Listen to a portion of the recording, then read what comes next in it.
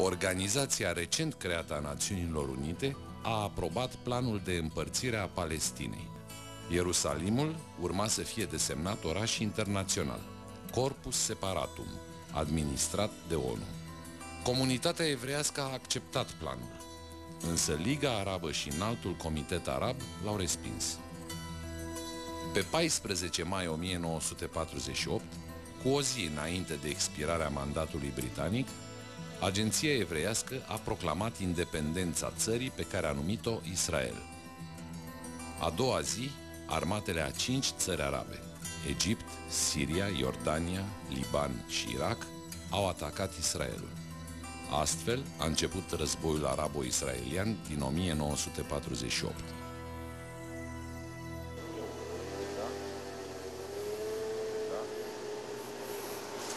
Nu dorm, mă prefac. Încercăm să creăm o scenă cu tensiune ca să vă arătăm Tel Aviv by night și nu ne iese de nicio culoare.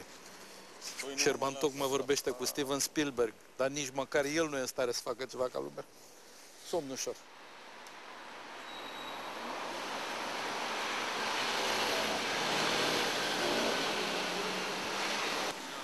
Azi e Purimul și ceea ce se întâmplă pe străzile Tel Avivului îmi întărește încă o dată convingerea că după toate lucrurile îndurate de evrei pentru a-și păstra identitatea, felul în care știu să renască de fiecare dată și să se bucure de sărbătorile lor este o incredibilă lecție de supraviețuire.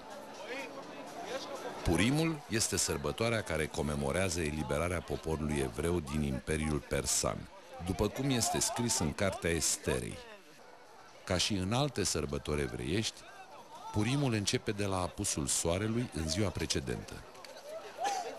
Suntem invitați la una dintre petrecerile de Purim, care sunt cam peste tot. Toată lumea este în costume. E un fel de carnaval brazilian care se întâmplă la Tel Aviv. Rabinul spune că obligatoriu asta seară trebuie să bei cel puțin două pahare de vin, câte trei, și să te bucuri și să te distrezi.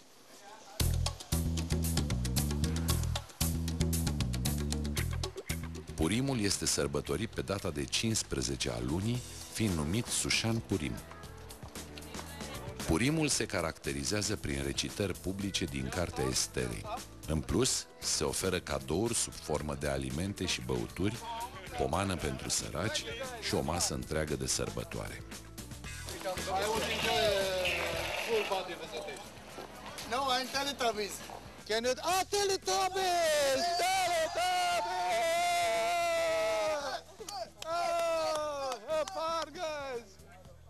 You're Robin Hood. You're taking money from the rich and giving to the poor? No, I give it to myself, actually. You give it to yourself. Can you share it with me? Robin Hood, let's go. Make Have- Mary. Mary, you're together with him. Sometimes. Just go in the woods and do what you should do. Have fun, guys. Obiceiul oamenilor de a se masca de Purim a fost introdus pentru prima dată de evreii italieni spre sfârșitul secolului XV, sub influența carnavalului roman.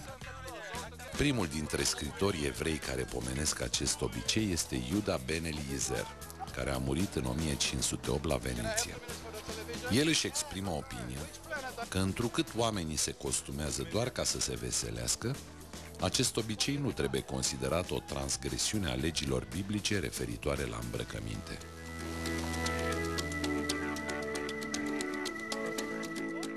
Ne amestecăm prin mulțime și energia este extraordinară. Tel Avivul ne primește cu brațele deschise, fără falsă pudoare, dar plin de viață. For television. Tell us something about it. Give me all your money. Mama Liga, you know. You know Mama Liga. I know, Mama Liga.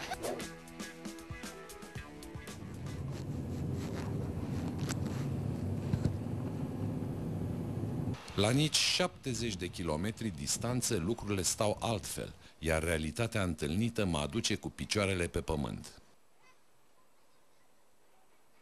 Încerc să dau de Amir și de ceva timp umblu fără direcție prin Hebron.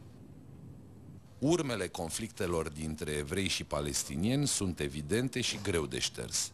Dar ceea ce încearcă să facă Amir cu tinerii palestinieni mă face să cred că generația care vine a învățat ceva din greșelile trecutului.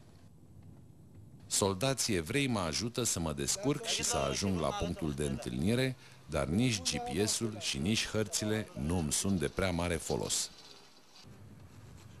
În urmă cu două zile, locul prin care umblu acum era scena luptelor de stradă dintre cele două părți, iar liniștea de astăzi este stranie și apăsătoare. În cele din urmă dau peste Amir. Ne uităm de jur împrejur și zâmbim trist.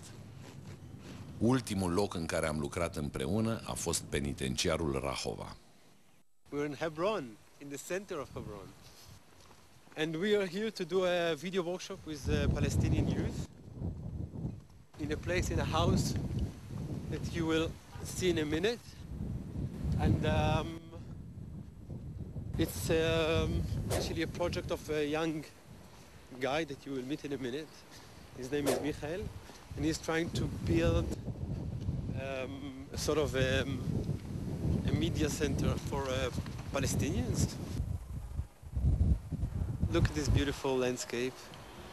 We're in the middle of Hebron, and instead of, of um, keeping ourselves to ourselves as Israelis, we wanted to uh, to have more and uh, be occupied, other people. And since then, things. I'm a Jew and I'm Israeli. I can't I can't hide it.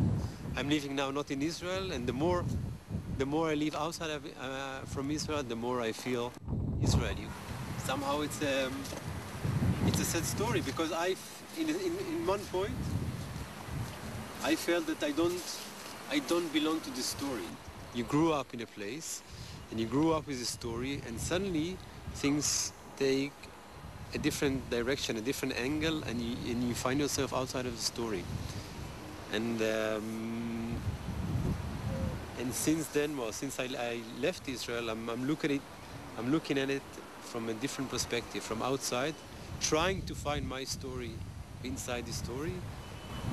And uh, well, for the time being, it's it's difficult because things are, for me, I'm not going in the in the right direction uh, in Israel.